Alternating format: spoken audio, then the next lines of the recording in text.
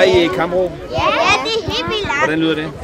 Nord, syd, øst og vest. Himmel lever altid bedst. Åh, himmel. Jeg tager jo øh, glæde og engagement øh, med mig. En øh, masse voksne her, der skaber en fantastisk øh, fritidsramme for børn og unge her i HVB. Altså det fremkalder dyb, dyb respekt. Statsminister Lars Løkke Rasmussen var i går på besøg i Himmelev Vedelev Boldklub, også kaldet HVB. Klubben modtog sidste år DBU's pris Årets Breddeklub 2010 som en anerkendelse for det store frivillige arbejde, der foregår i og omkring klubben. En pris, som klubben er stolt af. Jamen den betyder jo, at, at, at vi kan gå ud og profilere vores klub øh, og fortælle børn i, i området her, at, øh, at har du lyst til at spille fodbold, så kommer du ned i en klub, som øh, har en, øh, en organisation, der, der, der, der gør, at, at, at det er godt at spille fodbold hernede. Ikke? Øh, du kommer ned, og du der bliver taget vel imod dig, og du øh, øh, ved fra dag et af, hvem er dine træner, hvem, øh, hvem tager sig af det. Det er ikke sådan, så, så man skal rende og finde ud af tingene selv. Men, men der er styr på det. 1, 2,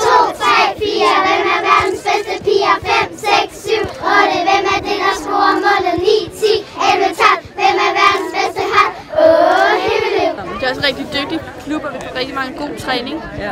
Vi kommer rigtig langt mange gange. Det er socialt ja. og seriøst fodbold. Ja, på samme tid. Og blandet, altså sådan, så vi både kan spille med nogen, der er bedre end os, og der er nogen, der kan komme op og træne med os. Sådan så det ligesom er socialt på alle aldre. Så. Mm. Ja. Og gode træner, fede træner, de vil det for os. Ja. Klubben har det seneste år fået flere og flere medlemmer og tæller nu omkring 900 aktive spillere og 100 frivillige trænere, ledere og dommere. Statsministerens besøg sluttede med en lille gave. Værsgo. Tak skal du have. Det bliver min konservative venner også glade for, at jeg spiller kaptajn i, i en grøn. Jo, så kan det hele ligesom hænge sammen. Selve boldklubben øh, bliver jo profileret på en, en rigtig, rigtig positiv måde. Øh, og børnene, vi kunne se, hvordan børnene de flokkede omkring statsministeren. Det vil sige, at øh, når børnene kommer hjem, og de eventuelt, eller deres forældre, læser om det her i avisen dagen efter, så vil børnene sige, ja, yeah, det var nede i vores fodboldklub, han var. Og man kunne se, at det var jo kæmpe hit. Det var som at have en, en rockstar på besøg. Man kan mærke på de unge derude, der, at, de, at de har en fantastisk klub her, og der er nogle voksne omkring dem, som yder et helt ekstraordinært stort engagement. Og det skal vi huske at sætte pris på, fordi selvom vi lever i et, i et velfærdssamfund, hvor vi får ordnet mange ting via skattebilletten, så har vi altså også brug for, at der er nogen, der, der trækker det frivillige læs, og det gør folk her. Fordi de er de bedste,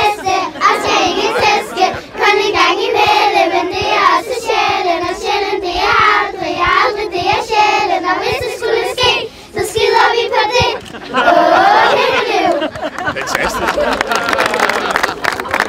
Hold da op. Nej, hvor er det godt. Det var nok sygt.